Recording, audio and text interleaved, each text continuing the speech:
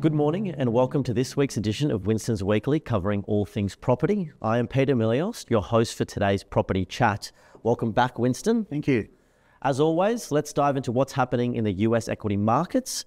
The month of August ended on a positive note last Friday after the release of the PCE, the Personal Consumption Expenditures Report, which aligned with economists' expectations.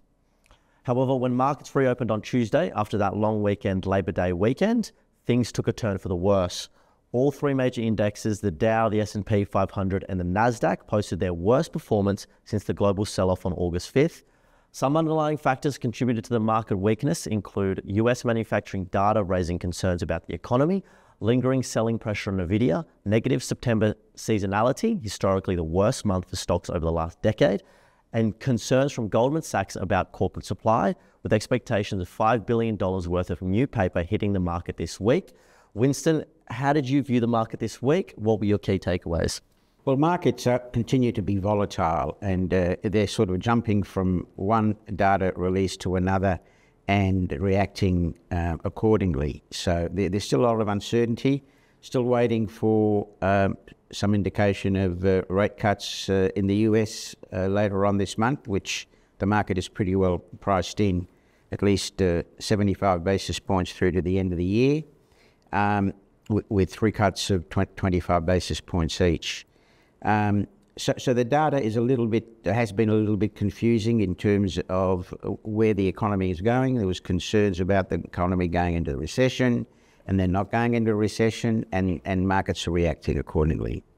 And shifting to the domestic markets, this week the Australian dollar fell fell sharply following that weaker than expected US manufacturing data and the release of Australia's GDP figures. The Australian economy grew by just 0.2% in the second quarter, slightly below market forecasts, but in line with the RBA's efforts to slow the economy and curb inflation. What's your latest take on Australia's figures, um, and what do they tell us about the state of the broader economy and the RBA policies? Well, it's interesting because um, the the governor also uh, gave a speech uh, yesterday, and there was some uh, some issues sort of taken with that speech. In that she said that um, there's, there's no possibility of rate cuts uh, basically through to the end of this year. Um, and uh, I think that that makes them a bit of a loggerhead with, with the government, who are looking and hoping for uh, the RBA to cut rates. Look, the data that came out certainly the economy is slowing down, but as uh, as as Governor Bullock said, effectively, whilst we need to see that reflected in the inflation numbers, and we're not seeing that. Australia's inflation rate is still stubbornly high compared to uh, other economies, certainly the US and, uh, uh, and Europe, and it's not trending down.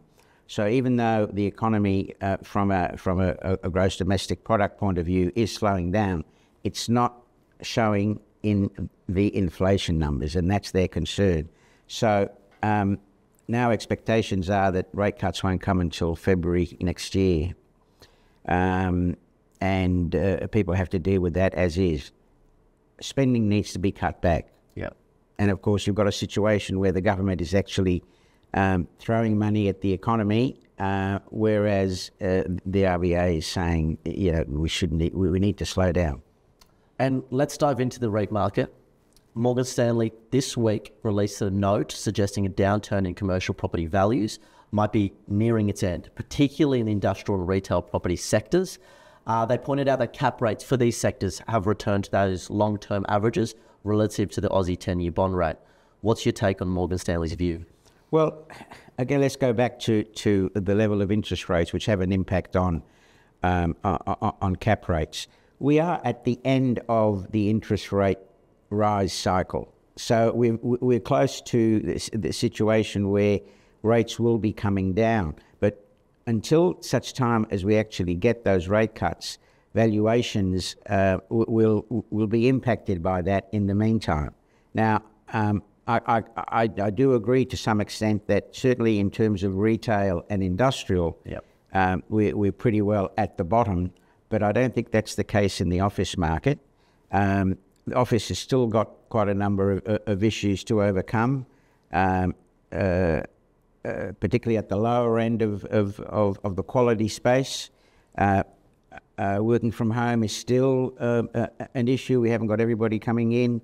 Um, so uh, I think office valuations could could go a little bit lower, and in in which case, say in the December results announcements when they're made by the by the REITs, that will be the bottom then.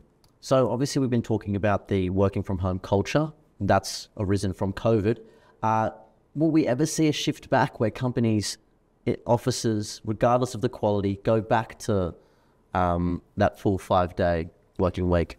Personally, I don't think it's it's something that uh, the working person is going to accept.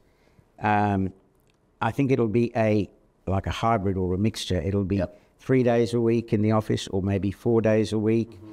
Um, but it's certainly it, it's very unlikely. Even though I mean the government has mandated, for example, that the New South Wales government that um, uh, their workers need to come in five days a week, but it's got to be translated into actually happening. Yep. And I don't think it is.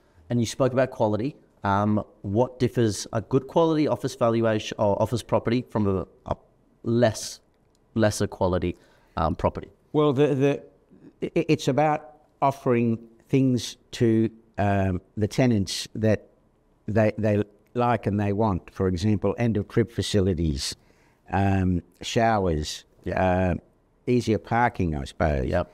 Uh, and and a more modern building in terms of uh, making sure the air conditioning is working. All those sorts of little things that add up to um, to making it a, a, a, better proposition for someone to come into the office. They want to come into the office rather than work from home. Okay, thank you. Uh, and looking more broadly, how did REITs perform this week?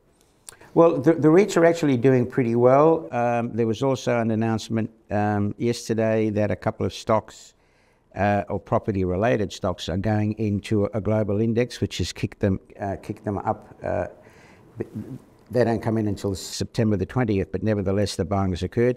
Charter Hall and NEXTDC. Yep. Um, Charter Hall is is is a fund manager, um, exposure to pretty well all the property um, asset classes uh, but not residential.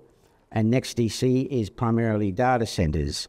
And of course, we had the good news, uh, or the news this week also, that our AirTrunk's been sold for a, a big price. Um, data centers there are being valued uh, quite well. Um, and also, that's had a bit of a, a rub off on, on NEXTDC.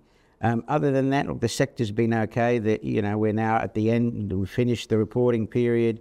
Um, of course, a number of stocks will go ex distributions uh, at the end of this month in September.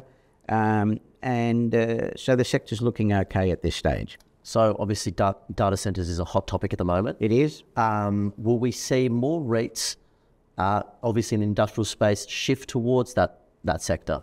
Well, like the Goodman Group. Yeah. Well, uh, uh, it's good you mentioned Goodman Group because they have indicated at, at the last result that uh, they are focusing more on, on provision of data centers. The thing about data centers is that uh, they need to have access to power. Yeah. And so uh, a, a, lot of the uh, the REITs that are looking into that space are, are trying to, to, to, to, get the, the access to power to enable them to, to, to, to develop the, the data centers. It's expensive as well. It is expensive, but and that's why they make a lock-in contracts at, at a certain price. Um, it's, it's better for them. And just shifting on to next week, what are we looking forward to? Uh, not a lot of news next week. Uh, steady as she goes, I guess. As I said, um, maybe there's there's been some um, likely repositioning. Um, what's happened, even though the Goodman result was was quite good, was that given the very strong performance over the last 12 months, um, Goodman's has been sort of has come back, has underperformed. Uh, as money shifts into um, uh, other sectors which I consider to have value.